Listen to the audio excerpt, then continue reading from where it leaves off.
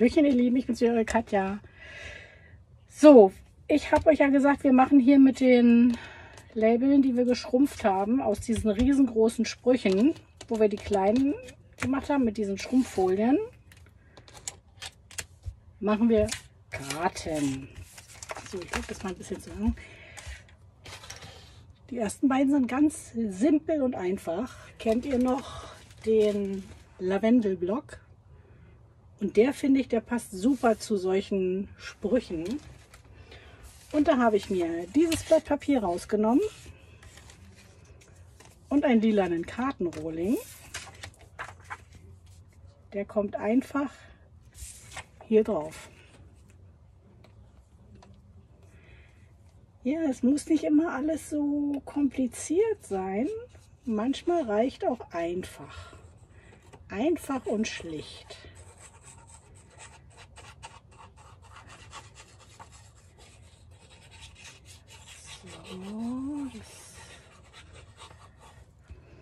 Noch mal gucken, dass wir es richtig rum haben. Dass ich es richtig rum habe. Meine Güte. Ich muss mir das echt mal abgewöhnen, wa? wie mit dem So. Aber da hat jeder seine Macke. Und das ist doch so ein schönes Papier. Und ich finde, da passt ganz super dieser Spruch zu. Lass dich vom Leben küssen, ganz sanft und ganz wild. Mehr brauchst du doch gar nicht. Jetzt weiß ich nur nicht, wie ich diesen Spruch da anklebe. Ich glaube, da nehme ich vielleicht lieber den hier, den VBS.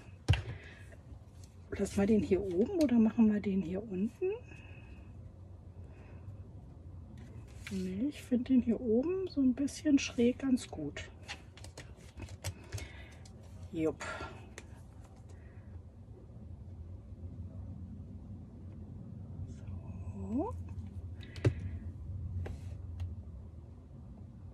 Nicht zu schräg, aber so ein bisschen.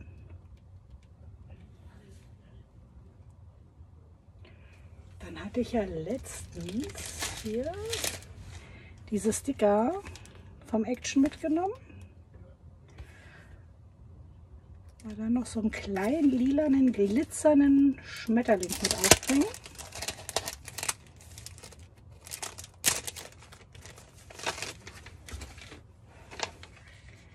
Hier so einen kleinen, irgendwo hier in die Mitte.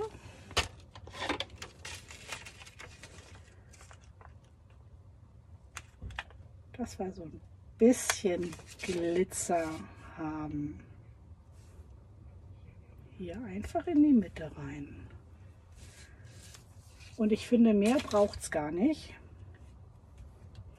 Und dann ist die erste Karte auch schon fertig. Ich packe mal hier so ein bisschen was drauf. Ein bisschen Gewicht. So, erste Karte fertig. Für die zweite Karte habe ich mir aus dem Block dieses Papier rausgenommen und einen weißen Kartenrohling. Dann habe ich mir ein bisschen lila Vellum genommen, ein Brett und da soll einfach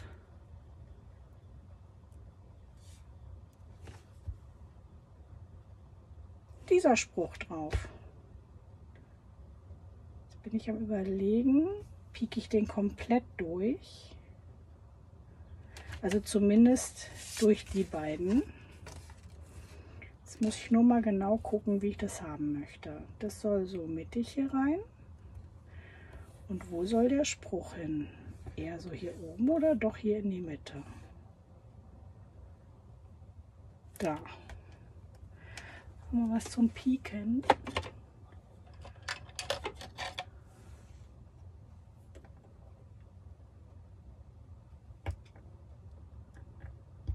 So. Ups, das ist meine Pinkseite weg. Das geht nicht. Irgendwas zum Pieken haben wir. Das ist schon ein bisschen vermanscht da.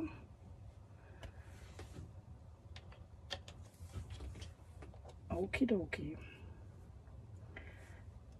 Da würde ich jetzt den Brett versuchen durchzustecken. Durch alles. Den hier hinten auseinander biegen. Dann können wir auf das Vellum Müssen wir nur noch mal gucken, dass es jetzt hier gerade ist. Einigermaßen gerade. Ne, es soll schon gerade sein.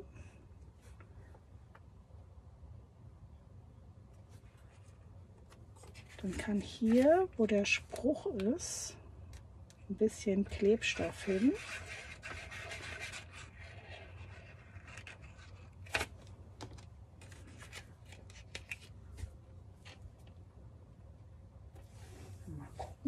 Irgendwie sieht es total schief aus, oder?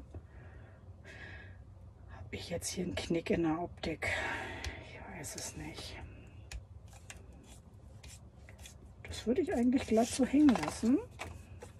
Obwohl, wenn man das dann wegmacht, dann sieht man hier das Klebezeug. Nee, das ist auch doof. Also müssen wir das auch ein bisschen festkleben. Hm. Wie soll es hin? So ein bisschen schräg, dass es so runterhängt. So.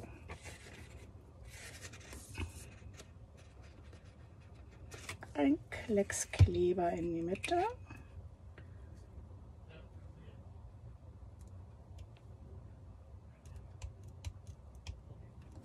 Ja, jetzt fällt sich das Vellum hier so hoch.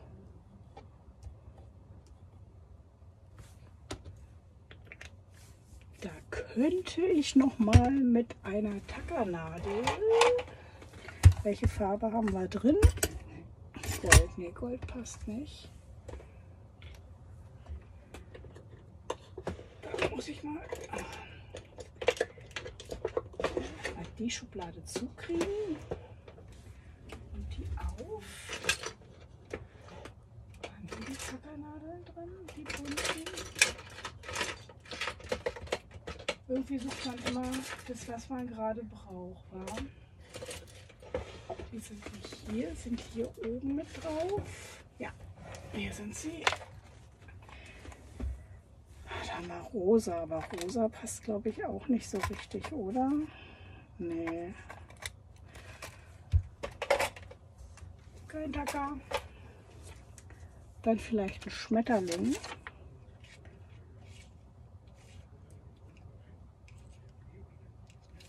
Ein hier.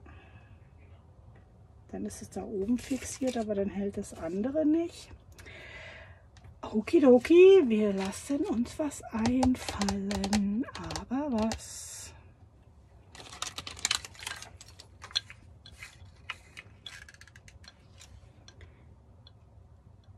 Das ist ja hier sowieso schon ziemlich dick durch dieses Dings da.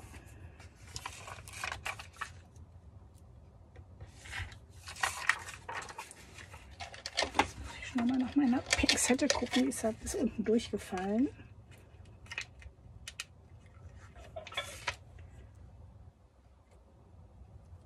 Einmal auf die Seite und einmal auf die Seite.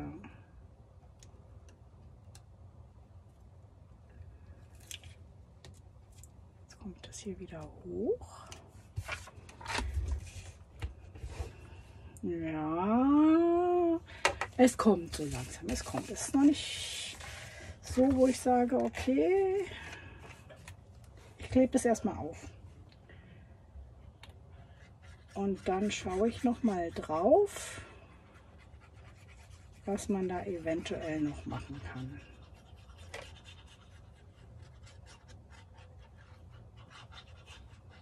So, vielleicht nicht so viel, dann jetzt Jetzt ist eh schon genug Feuchtigkeit drauf.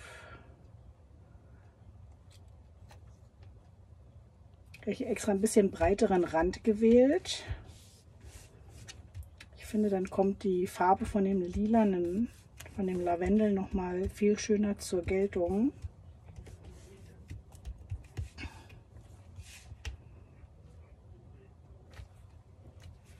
Also ich finde es gut. Ich müsste jetzt nur noch hier kleben. Ich lasse es erstmal so. Wir machen mal weiter mit der dritten Karte.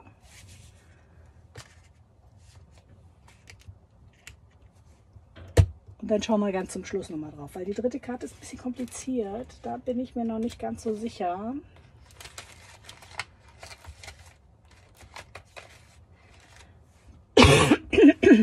Entschuldigung, also dieser Husten. Ich habe mir hier einen von diesen Embossed Stickern rausgesucht. Habe den schon ein bisschen distressed. Ich habe hier noch ein Papier mit Noten genommen, auch mit diesem komischen Dings hier. Na, hier mit diesem Ding habe ich die Ränder auch distressed und mit braun gewischt. Das habe ich mir vorgestellt, soll hier so drauf. Den Spruch habe ich auch schon gewischt. Das Problem ist nur, wenn man da drüber fasst, geht die Farbe so ein bisschen ab.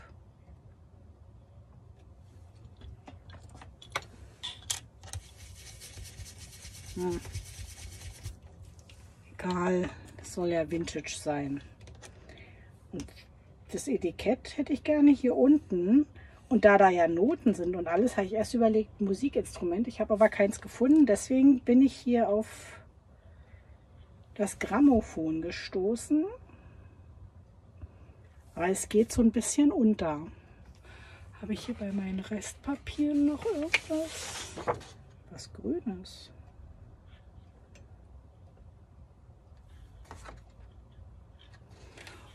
Könnten wir ja mal ausprobieren. Passt das hier rein? Das ist wie breit? 5 und höher. Höher kann es ja ruhig sein. Hm. Reinstecken. 5.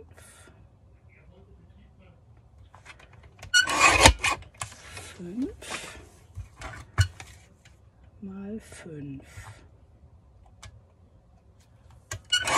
Ungefähr.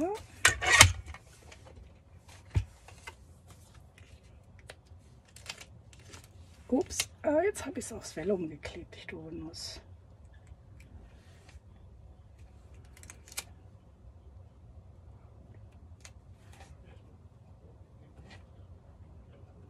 Okay. Auf jeden Fall fällt es schon mal mehr auf. Aber hm, ist irgendwie noch nicht so das, was mir jetzt richtig gut gefällt, muss ich echt zugeben. Ich wühle mal hier nach dem Band.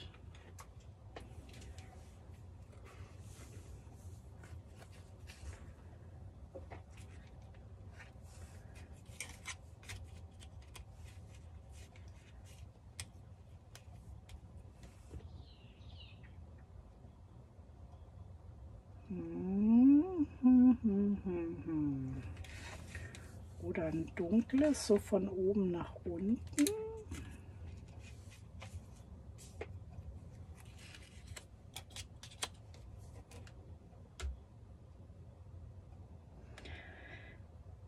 Finde ich auch nicht so verkehrt. Oder ein bisschen weiter nach rechts. So ein Band, wo das dann so halb drauf ist.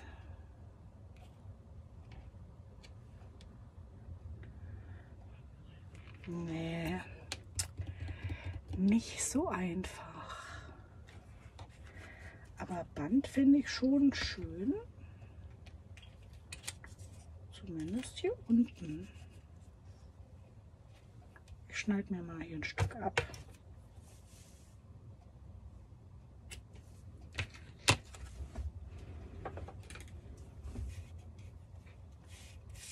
Den Aufleger nochmal zur Seite. Oder wir machen das Schildchen nach oben. Und das nach unten.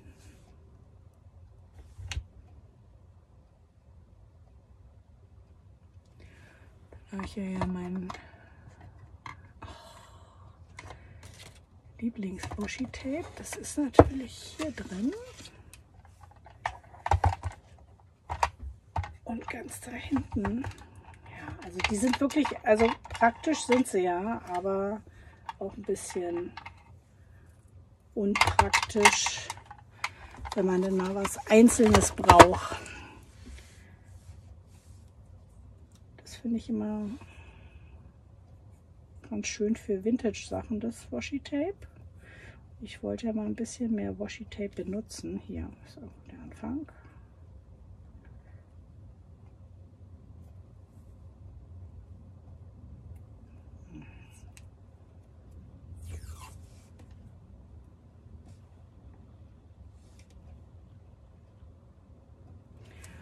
Auch nicht. Ach Menno.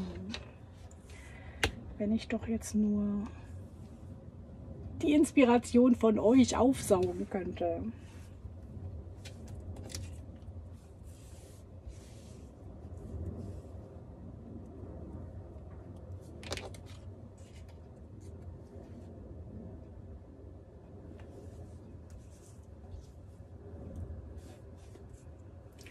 Stört mich das Grüne, dass es zu klein ist? Oder soll ich das nochmal in weiß matten?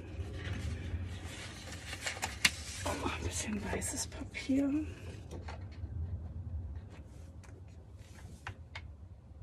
Nee, aber weiß geht ja da gar nicht. Was hat denn das hier? Das hat Rosenmuster auf der anderen Seite. Irgendwas. Nee, blau passt auch nicht.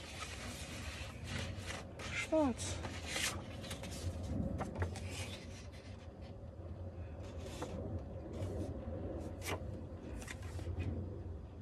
Nee, schwarz gefällt. Schwarz ist wieder zu hart.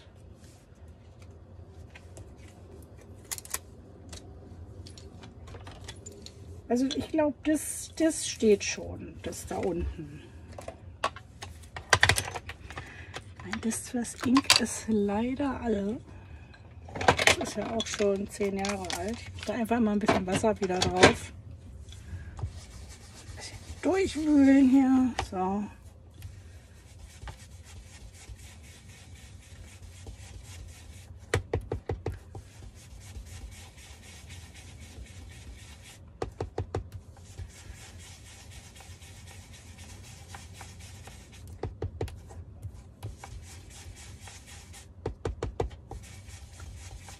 Braucht zwar ein bisschen länger, aber es geht noch. Es geht noch. Noch geht es ein bisschen. Vielleicht sollte ich mir mal ein neues kaufen. Aber ich habe hier noch eins. Aber das ist zu hell. So, gleich wieder wegräumen. Abwischen. Jetzt besser.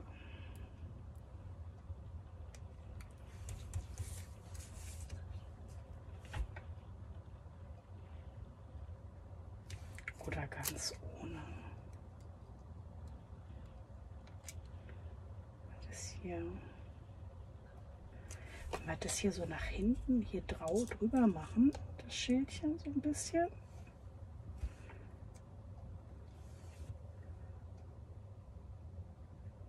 Auch nicht schlecht, oder? Aber irgendwie fehlt mir noch ein bisschen was im Hintergrund.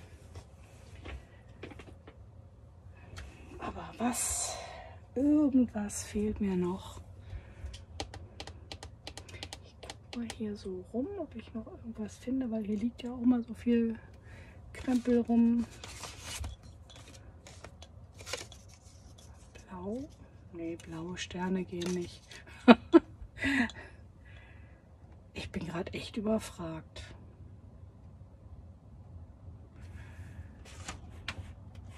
Ich hole mal hier meinen Reste. Das steht hier oben und da schmeiße ich immer alles rein, was gerade so vom Schreibtisch soll. Oh, ich habe hier noch so selbstgemachtes.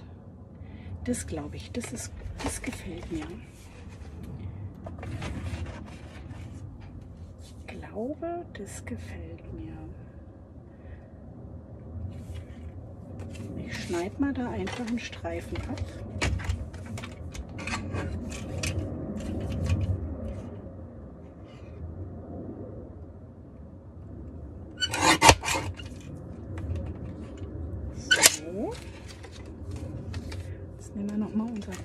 Bürstchen. Weil das ist ja hier. Okay. Ja, wenn da mehr Farbe drin wäre, würde das jetzt noch reichen. Aber es reicht nicht. Das ist zu weiß.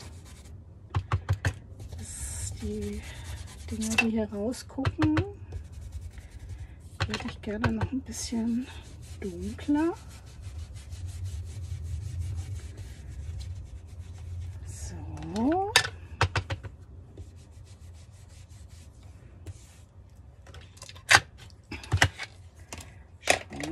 Das habe ich, da habe ich einfach so Kleber aufgetragen und dann bin ich mit diesen Foil Flakes da drüber und habe die festgerubbelt.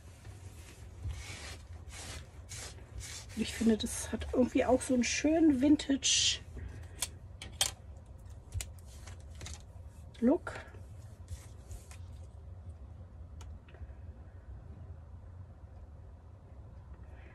Okay, es müsste ein bisschen... Erstmal gucken, ob mir das überhaupt gefällt.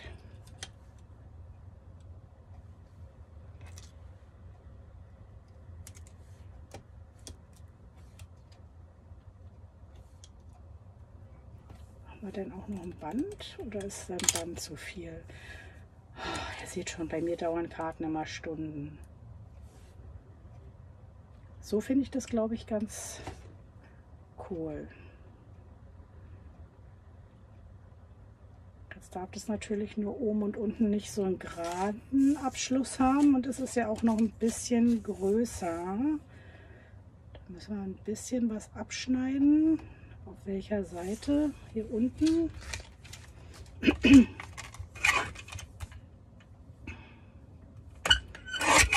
So ein Stück würde ich sagen.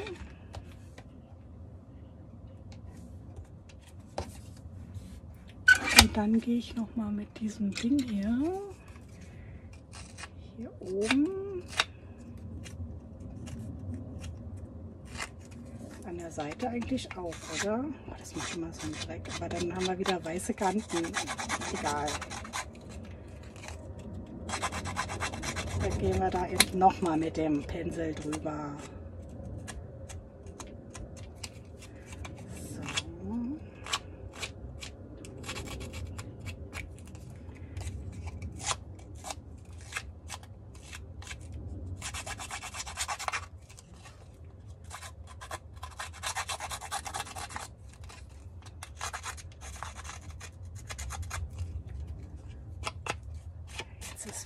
ausgefranst. Ups. In den Mülleimer. Und dann hole ich noch mal mein Pinselchen. Das braune Pinselchen. Und noch mal die leere Farbe.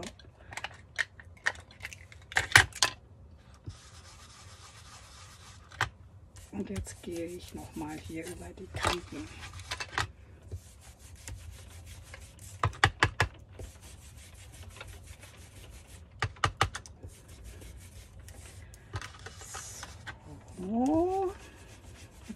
Mir das schon gut.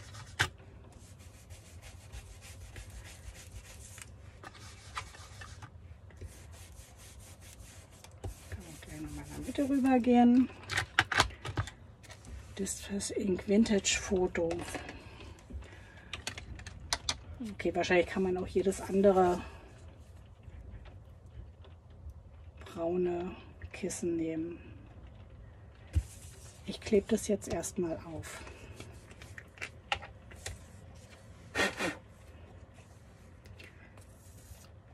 Sonst wären wir hier nie fertig.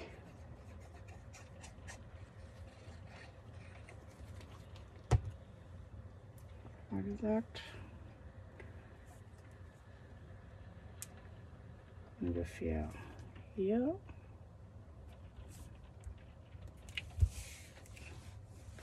Bisschen schief.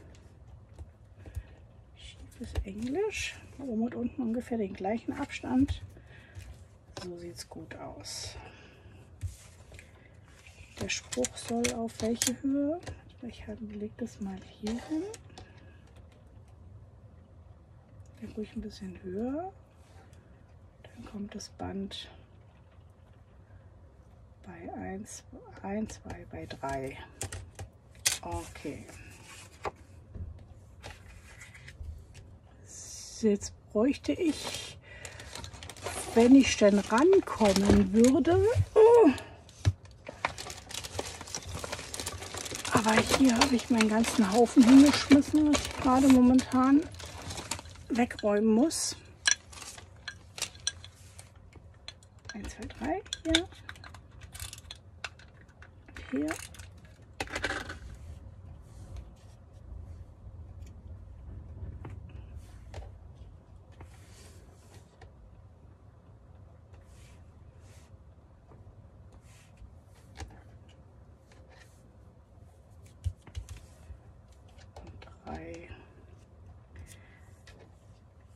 Hier.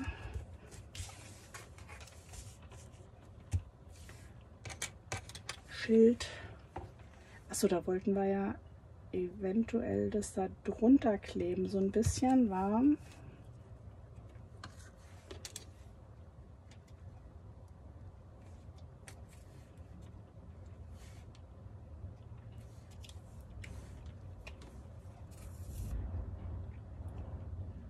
Ich klebe das jetzt einfach alles zusammen. Ein bisschen Kleber drauf, weil die Embossed-Sticker, die kleben ja nicht.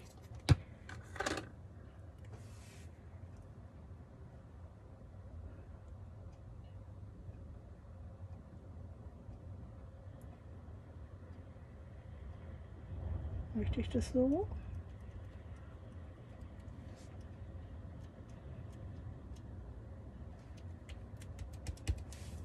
Jupp.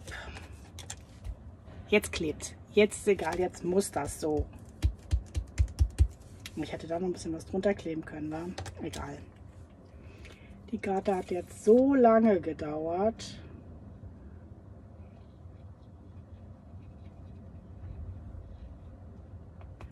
Da gehen wir uns jetzt nicht mit so Kleinigkeiten ab.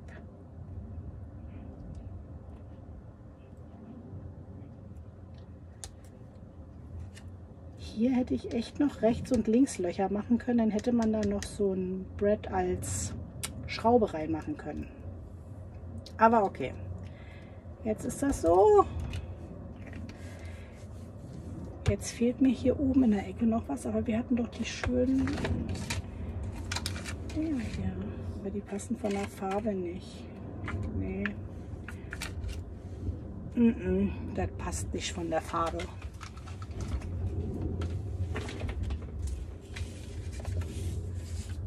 Hier innen drin habe ich den Rest von dem, was ich abgeschnitten habe, draufgeklebt. Ich klebe das jetzt ganz schnell zusammen, bevor ich mir das anders überlege. Manche Karten, da sitze ich dann aber auch echt, dann gefällt mir das nicht, dann gefällt mir das nicht. Ganz schlimm bei euch so, wenn ihr eine Idee im Kopf habt, könnt ihr die ganz schnell umsetzen oder habt ihr da manchmal auch so, ja, wenn ihr das dann so hingelegt habt, wie euch das gedacht habt, gefällt euch das nicht mehr?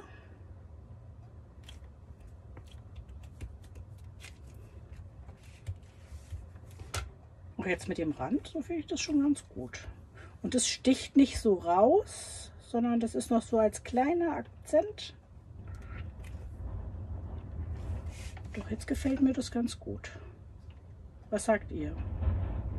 Wir können ja immer noch mal was draufpappen. Abmachen ist immer so eine Sache, aber noch irgendwas draufkleben können wir ja immer noch. Ich würde jetzt erstmal sagen, die ist fertig. Da habe ich auch einen Umschlag irgendwo, da habe ich nämlich das andere Stück von dem Papier mit drauf gemacht. Das ist also Karte Nummer 3. Karte Nummer 2 gucken wir uns auch noch mal an. Ich finde die eigentlich schön, so wie sie ist.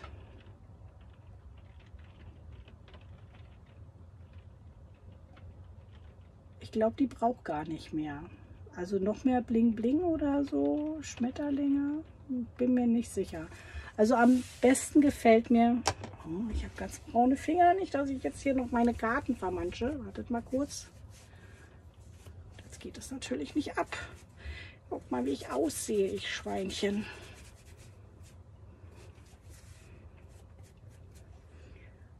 Ja, jetzt mit den nassen, dreckigen Fingern auch noch. Ach, Mensch, Mensch. Mir macht man was mit, war. So. Das war die erste Karte. Die gefällt mir wirklich am aller, allerbesten. Da habe ich jetzt drin nichts weiter, war? Nö, noch nicht.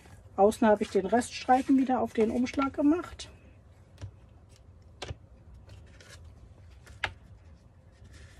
Die hat lila, Kraft und hier habe ich auch wieder den Reststreifen drauf geklebt. Hammers. Drei Karten mit diesen Schildchen. Was will man mehr? Hat auch lange genau gedauert.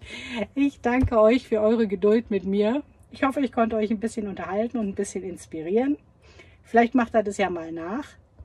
Und dann sage ich vielen Dank fürs Zusehen. Lasst mir doch einen Daumen nach oben da, würde ich mich echt freuen. Und ein Abo ist kostenlos. Und dann sehen wir uns zum nächsten Video. Tschüss, eure Grobi. Tschüss.